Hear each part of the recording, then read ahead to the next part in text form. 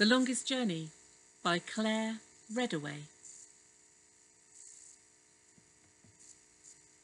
She's never been one for the crowded places, the town squares with their fountains and their tourists, the pedestrianised areas thronging with shoppers, the pubs full of drinkers spilling onto the streets. No, she likes the quiet and the wild spaces.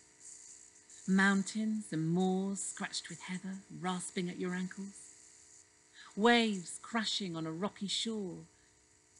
An empty beach spooling out in front of her tramping boots. Now, she is inside. She's one of the vulnerable. Her door must stay locked. Death lies just over the threshold, over there, outside.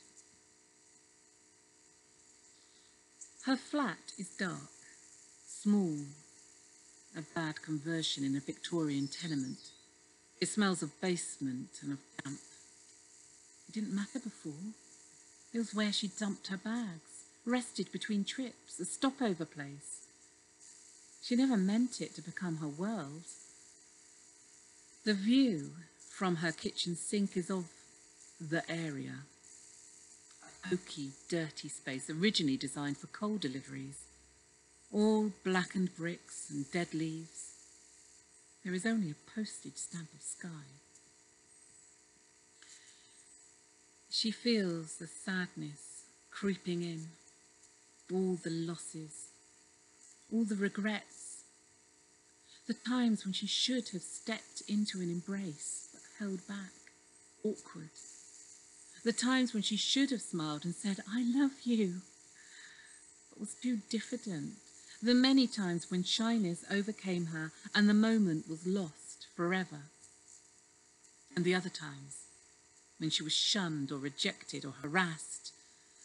All those times crowd into her head until all she can do is crawl under the duvet, under the covers, curl into a ball and sleep, sleep, and sleep.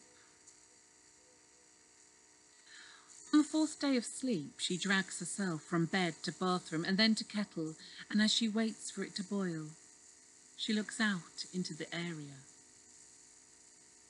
Prison yard, she thinks. The high walls, the patch of sky.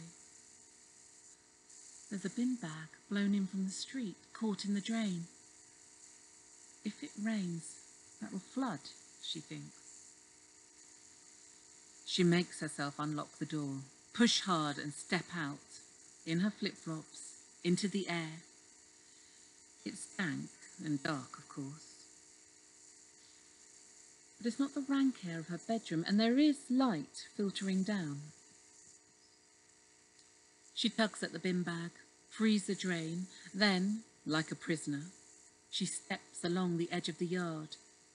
Ten steps. She runs her fingertips over the rough texture of the red brick. Ten more steps across the back, then ten again, and then ten back to the door. A square of forty steps. A step is about two and a half feet. Two thousand steps make one mile. 10,000 is five miles. She knows this. This is enough. On that first day, she walks around the area five times. The air fills her lungs, and although she goes back into her bed and retreats into the dark, her head is beginning to fill with other images, with other thoughts. And when she wakes the next morning, she gets straight out of bed. She has a plan. She finds the old tin of white paint that is hidden at the back of a cupboard and a paintbrush that is hardened with lack of use. She levers open the tin and there is plenty of paint.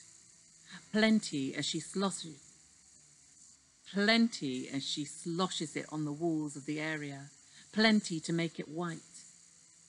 It doesn't matter that the paint splatters on the ground. And it doesn't matter that it might peel off in a few months or become stained green with mould. What matters is that now the walls are bright and white and she has a canvas. She finds her Ordnance Survey maps. She chooses one to begin. It is her favourite. She steps out into the courtyard. She starts at the pub in the village and walks through three fields until she gets to the edge of the moor. She climbs up the steep slope, her feet finding footholds in the rocky footpath. She meets the burn and puts her hand into the peaty water, splashing her face to cool it. She doesn't smell the new paint now, but the fragrance of heather coming into bloom, the coconut scent of yellow gorse and the crystal clean air of the hilltop. That morning, her limbs feel heavy and tired from the exercise, but her brain feels sharper than it has for days. She feels the need to mark her walk, to record it, as a prisoner might. She has oil paints, bought for a project long discarded. Standing in front of the shining white walls, she paints the new purple blush of the heather which covers the moor.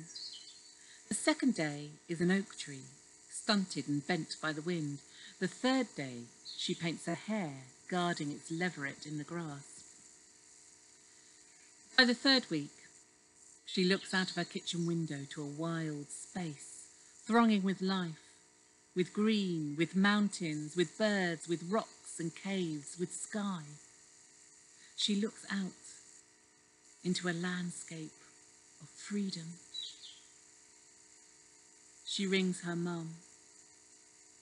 Hi, mum, she says. I've been on the longest journey.